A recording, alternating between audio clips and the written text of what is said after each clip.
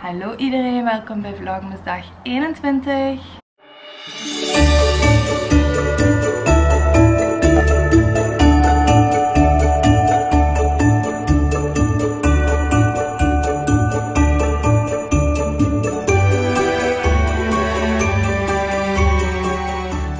Vandaag ga ik jullie mijn kerst make-up tutorial laten zien. Ten eerste wil ik zeggen, ik zie heel wit, I know. Ik heb al lang geen zon meer gezien. Ik heb me voorgenomen om niet meer onder de zonnebank te gaan.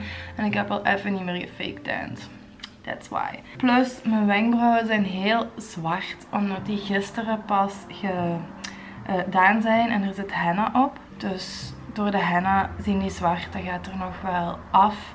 Maar momenteel zijn ze nogal in your face en redelijk aanwezig. Maar dat trekt nog wel weg. Voor de kerst make-up look ga ik een lichte smoky eye doen met bruine kleurtjes. Voor de rest redelijk simpel, redelijk gemakkelijk. Dus ik hoop dat jullie goed gaan kunnen volgen. Ik ga alles goed stap voor stap uitleggen. Ik ben geen pro in make-up, dus uh, bear with me. Maar dit is gewoon wat ik doe. En dat wil ik jullie graag laten zien. Als eerste ga ik mijn haren wel even samen doen. Want anders dan gaan die in mijn gezicht hangen als ik me schminken. Dat is niet zo aangenaam. Ik ga beginnen met Carmex op mijn lippen te doen. Dat doe ik meestal als ik mijn make-up doe. Omdat ehm, mijn lippen anders zo gaan uitdrogen. Zeker als ik straks ook lippenstift ga aanbrengen. Voilà. Dan zijn mijn lippen lekker gehydrateerd. Dan ga ik een primer aanbrengen. Ik gebruik de Bourjois Healthy Mix Anti-Fatigue Primer. Kan ik gebruiken, want mijn huid ziet er mooi uit. Ik zie er mooi uit. Ik weet niet hoe het komt. Met deze drukke dagen kan ik gewoon goed zo'n primer gebruiken. Want um, I'm tired. Zo meer een rozige primer. Maar die primer gaat er ook voor zorgen dat uw make-up beter op uw gezicht blijft. Oké, dan gaan we foundation doen. Ik ben nog een beetje van de oude stempel dat ik eerst foundation doe en dan concealer. Ik weet tegenwoordig dat er heel veel eerst concealer doen en dan foundation. Maar daar ben ik niet zo goed in. Dus ik doe eerst foundation en ja, ik breng dat gewoon rechtstreeks op mijn gezicht aan. That's how I roll. Ik gebruik trouwens de Bourjois Always Fabulous Concealer uh, Extreme Resist in de kleur 210 als ik me niet vergis. Ja, 210. Vanilla. Because my skin is really vanilla at the moment. En dan gebruik ik mijn Beauty Blender om de foundation goed aan te brengen.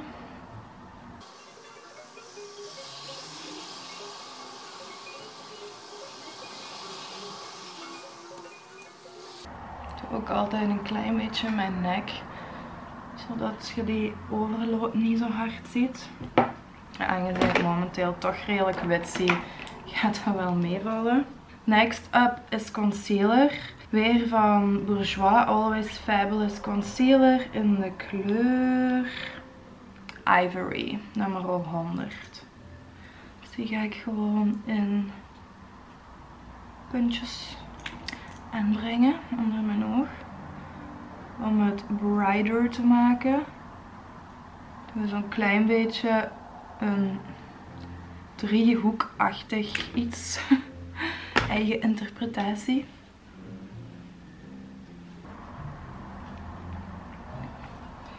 Oké, dan ga ik nog een concealer doen. De Age Rewind Concealer van Maybelline. Ik heb geen idee welke kleur dit is, maar normaal gezien is het Sand. En ik neem altijd de kleur Sand. Dat is echt mijn favoriete concealer ever. Je kunt nooit genoeg concealen. Hè. Walkjes onder de ogen. Of in mijn case de donkere kringen. Dan doe ik ook pukkels als ik er heb, maar ja, dat is niet nodig vandaag. Ik heb geen pukkeltjes, dus dat moeten we niet doen vandaag.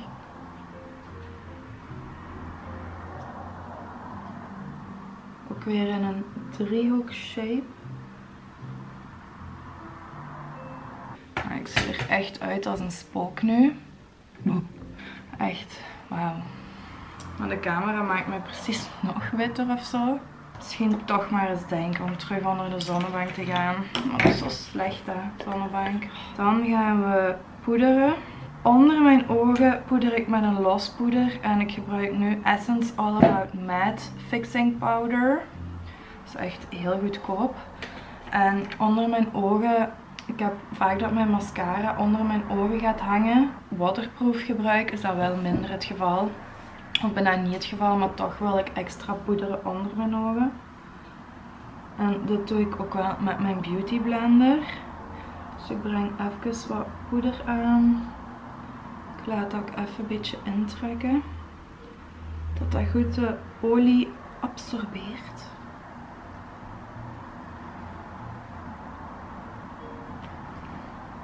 Voilà. En dit is het einde van onze kerstlook. Oké, nee. Stel je voor dat ik zo ging. Mooi. Als dat zo een half minuutje heeft ingetrokken, dan heb ik dan nog wat in met mijn beauty blender. Voilà. Dan ga ik mijn borstel nemen, mijn poederborstel. En dan pak ik de Bourjois Healthy Fix poeder. Ziet er zo uit. Ook weer um, anti-fatigue, dus tegen moeheid. En dan ga ik gewoon poederen. Vooral mijn voorhoofd wordt heel oily. Dan ga ik nog eens over mijn ogen.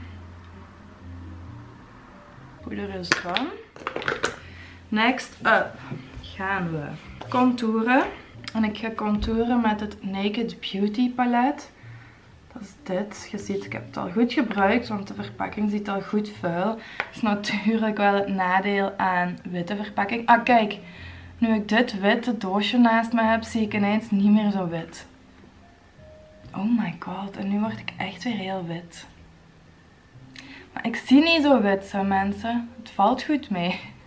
Ik ga deze bruine kleur nemen. De, ja, die andere is iets meer oranje. Deze is minder oranje. Ik ga onder mijn jukbeenderen contouren. Mijn voorhoofd ga ik een beetje doen. En een beetje in mijn nek. Oké, en dan blenden.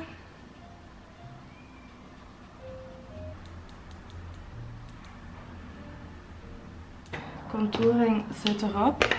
Dan gaan we de oogschaduw doen. Ik heb hier vier borstels waar ik mijn oogschaduw mee doe. En ik ga gebruik maken van het Naked Urban Decay palet. Dit. Dat is de eerste, het eerste Naked palet. Die heb ik ook wel al redelijk wat gebruikt. Het is redelijk oud. Maar het is nog altijd wel een van mijn favorieten op dagelijkse basis gebruik ik altijd het Heat paletje. En dat is dit. Het Naked Heat paletje. Dat is echt mijn all-time favorite. En dan gebruik ik altijd deze kleur, deze kleur en de eerste kleur. Maar dat is iets wat ik dagelijks doe. En voor kerstmis mag het wel eens wat anders zijn. Dus Naked 1 palet. Ik ga beginnen met de kleur Sin. Dat is deze de tweede kleur. En die ga ik aanbrengen over heel mijn ooglid.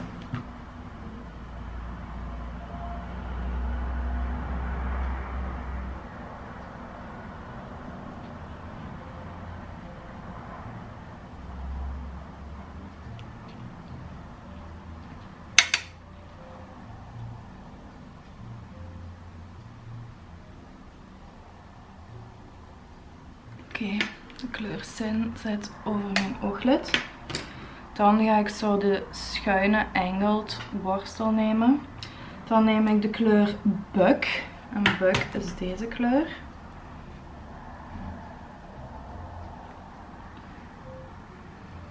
Mijn borsteltje doen. En die ga ik in de crease aanbrengen. Dus in de plooi van mijn ooglid.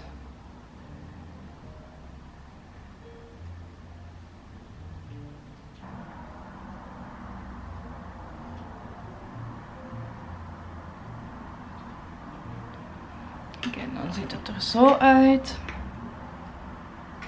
En dan ga ik met mijn blending brush goed blenden, want nu ziet je zo best wel harde randjes. Dus blenden, blenden, blenden, blenden, blenden.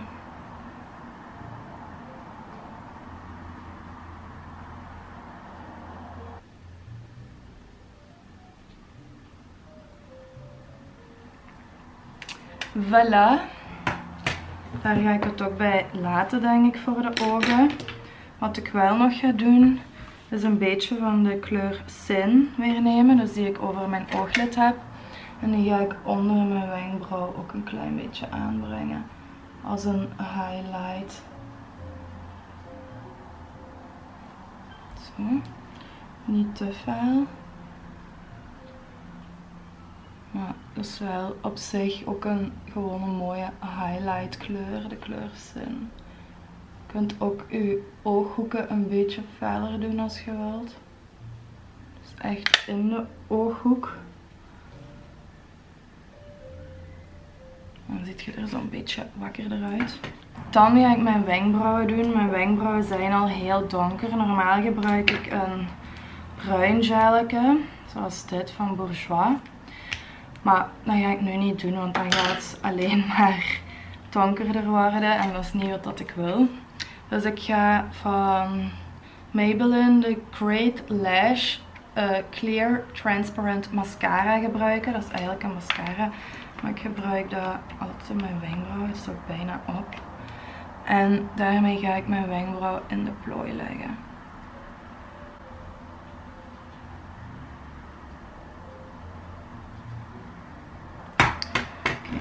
Zo. Ik ben redelijk nat nu, maar dat droogt wel.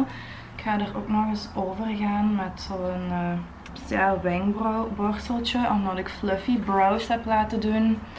Zij kunnen die zowel echt naar alle kanten staan. Dus ik ga ze nog eens wat extra kammen. Dan ga ik de mascara doen. Ik doe eerst mascara voor ik blush en highlighter doe. Want anders dan zit ik zo heel tijd door mijn eigen blush en highlighter te vegen terwijl ik mijn mascara doe. Ik ga eerst mijn wimpers krullen. Ik gebruik twee mascara's. Ik gebruik de Bambi Eye, de False Lashes mascara van L'Oreal. En de Rocket Volume in waterproof, ook van L'Oreal. Ik doe eerst de Bambi mascara en daarover doe ik de Rocket. En onderaan gebruik ik enkel de Rocket mascara.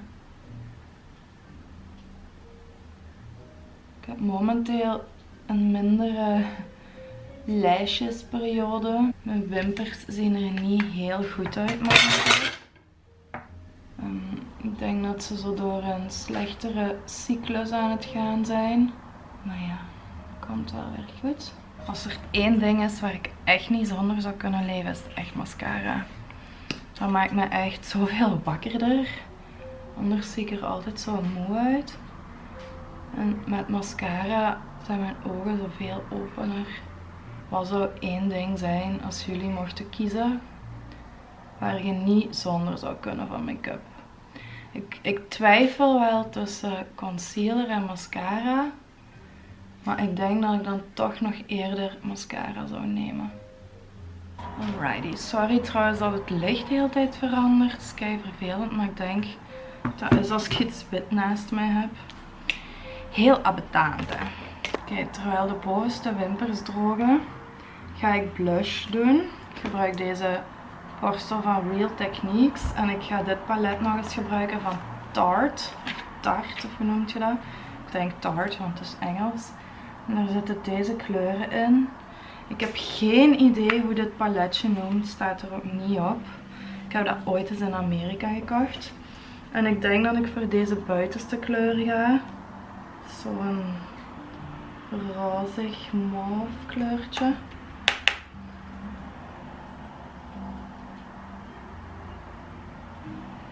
hier heb je alleszins niet veel van nodig. Het is heel gepigmenteerd.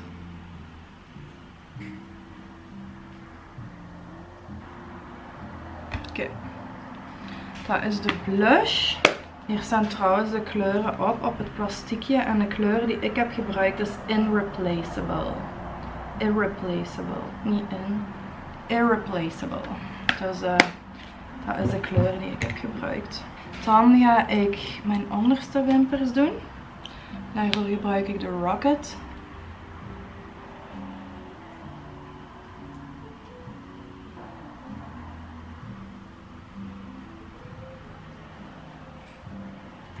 Tada! Waarom word ik zo wit? Nee, nee. Ik moet dat ding gewoon hier houden de hele tijd. Dan gaan we highlighter doen. Ik gebruik de Bourgeois Le Petit Strawber. En het ziet er zo uit. En die gaan we op de cheekbones doen. Doen dat blijkbaar op hun wang. Maar je moet echt van hier, van je slapen uit, naar hier werken. Dus daar gaan we de highlighter aanbrengen. We willen de glow De Christmas Sparkle Glow. Oké, dat heb ik zelf verzonnen, maar glow is gewoon belangrijk. Het is ook een hele mooie, hele natuurlijke highlighter.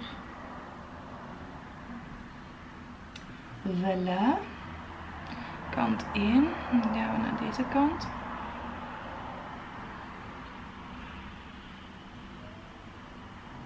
Tada! Je ziet het, heel natuurlijk, maar wel een mooie glow. Dan highlight ik mijn neus als je een iets of wat scherpere neus hebt of een bult op je neus, dan zou ik deze stap overslaan, want dat gaat dat accentueren. Maar mijn neus is vrij normaal, dus ik highlight die zodat dat wat meer um, ja, opvalt. Dan ga ik ook, en zo lijkt uw neus ook een beetje smaller. Dan ga ik ook mijn Cupid's bow hier boven mijn lip met highlighter doen, want zo lijken uw lippen groter. Zo, dan is zo goed als mijn gezichtsmake-up gedaan. Sorry dat ik dit hier hou, maar zo ziet je het gewoon beter. Dan gaan we alleen nog lippenstift aanbrengen. En ik twijfel tussen rood of een donkerrood. Ik denk dat ik voor dit donkere kersenrood ga. Want rood doe ik al elk jaar. En ik weet dat het is kerstmis, dan zijn rode lippen mooi. Maar ik wil eens iets anders en niet zo het, het standaard rode. Dus ik ga voor deze gaan. En dit is de Bourgeois lipstick nummer 35 in Perfect Date. Let's uh, try this one. Ik ben heel benieuwd. Het ziet er echt mooi uit. Het is zo meer paars, paarsachtig rood.